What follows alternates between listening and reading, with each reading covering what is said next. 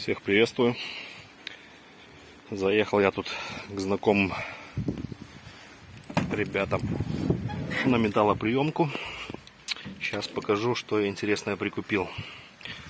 Значит, стоит у них там запорожец такой, ну, довольно в таком неплохом состоянии.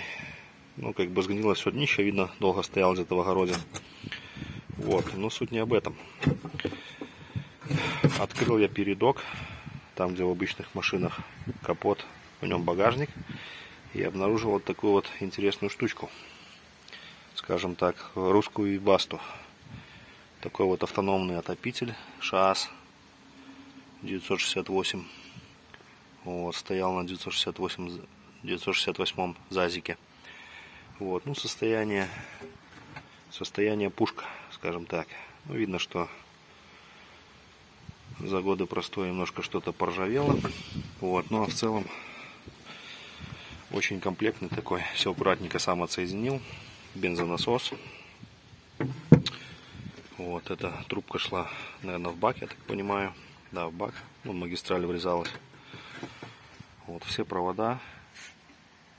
Единственное, что надо будет еще ну, такую рычаг, как бы пульт управления с него снять. Я про него забыл.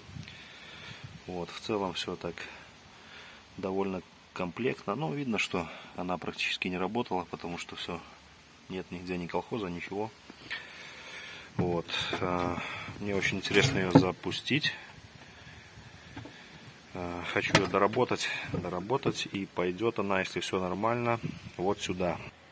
Вот сюда вот она пойдет. Буду устанавливать ее свой бусик, который восстанавливаю Т3. Вот, ну, как бы устраню все заводские нюансы, которые есть в этой печке, чтобы она была пожара, пожаробезопасной.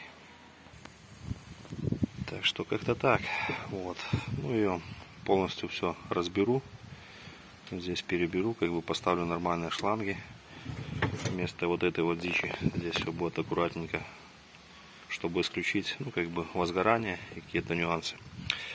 Так что ладно, сейчас немножко разберусь со схемой подключения. Вот. Ну, почищу, немножко продую. Ну и уже в следующем ролике попробуем собрать электрическую схему и запустим ее, посмотрим. Мне интересно, какой расход топлива у нее, потому что ходит легенда, что она жрет, как и Запорожец. Ну, посмотрим. Вот, как бы по модернизации этих печек есть много информации, поэтому такая очень интересная штучка, тем более досталось там за пачку сухарей, поэтому грех не поэкспериментировать. Кому интересно, подписывайтесь на канал. Всем спасибо за внимание.